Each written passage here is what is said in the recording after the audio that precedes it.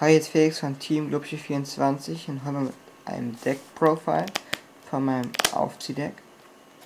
Ja, ich fange einfach mal an. Ja, ich spiele dreimal den Aufziehmagier. Den bekomme ich wahrscheinlich schon einmal. Ja, das ist die Schlüsselkarte halt. Dann dreimal Aufziehsoldat. Kommt man schon auf Adrius. Oder Trias.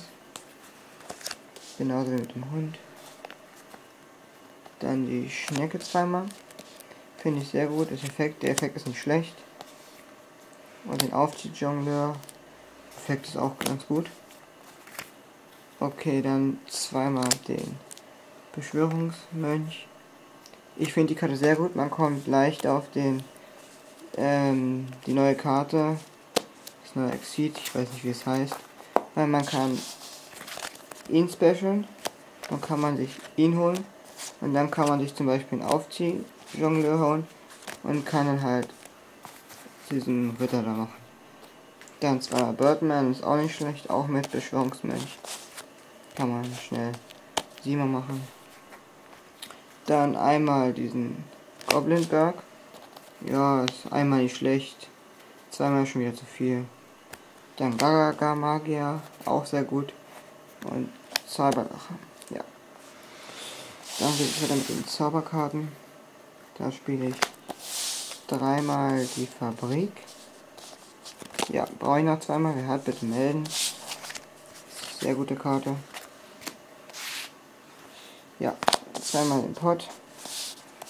Müsste klar sein. Topf der Trägheit auch klar. Verbotene Lanze. Zweimal NST. Buch des Mondes. Schwerer Sturm, Wiedergeburt und schwarzes Loch. Ja, das muss ja klar sein. Dann Zwangsevakuierungsgerät.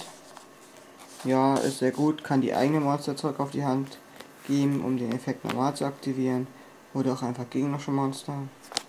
Dann zweimal die Prison. Auch, müsste ich auch selbst erklären eigentlich. Ja, einmal. Sieben Werkzeuge des Banditen. Auf der Gejagten. Ernste Warnung in Ultra. Feierliches Urteil. Spiegelkraft. Und BTH. Ja. Müsste eigentlich alles der Rest jetzt klar gewesen sein mit den Zauberfallkarten. Ja. Also wer die Karten hat, die ich brauche, bitte melden. Und ciao.